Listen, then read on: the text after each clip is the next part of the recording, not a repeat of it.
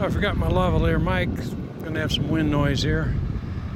We're looking from the dam toward the uh, up lake.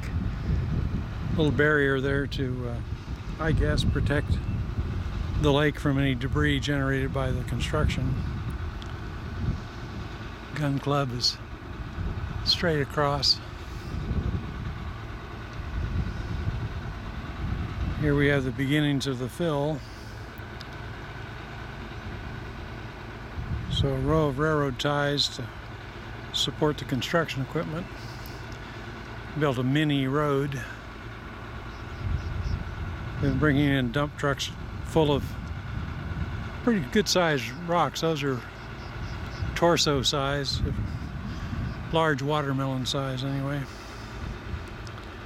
And then the backhoe spreads it and he builds himself a platform and then moves out on it. So we'll see if we've got a dump truck coming by anytime soon.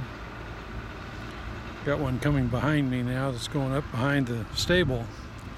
Don't know exactly what he's doing.